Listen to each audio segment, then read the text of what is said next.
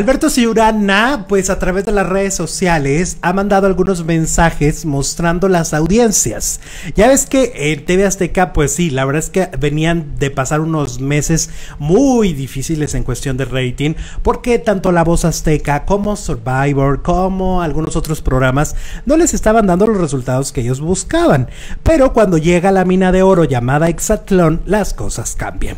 Porque una vez más, esta temporada se convierte entre lo más visto en la televisión mexicana. Y ahora sí, Beto Ciurana sale y, dice, pues miren, Aquí están mis vidas, aquí están las audiencias.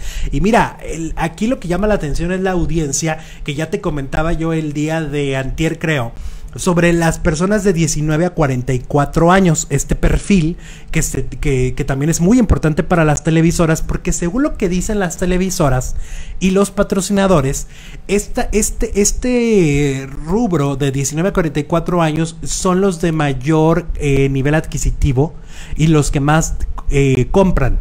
Por eso les gusta, por eso lo miden aparte. Ok. Ok. Por eso es que le dan mucha importancia y lo ponen el total y también ponen este, este, este sector. Y entonces, Exatlón tuvo 680 mil espectadores en este sector, ganándole a la mexicana y el güero y a Imperio de Mentiras en su primer capítulo. Y ahí están las audiencias, lo publicó Alberto Ciurana. Como vemos, también en la misma gráfica que publica Alberto Ciurana de Produ, Televisa sigue ganando en, como dice el dicho, en esta historia me suena, en La Rosa de Guadalupe y con Denise Merker. O sea, solo no ganan a la hora de que Exatlón se enfrenta a la mexicana y el güero y a Imperio de Mentiras.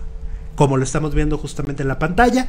Entonces, pues están contentos, avientan palomas al vuelo, pero todavía no ganan el general. El total de personas todavía no ganan en ese, pero están cerca.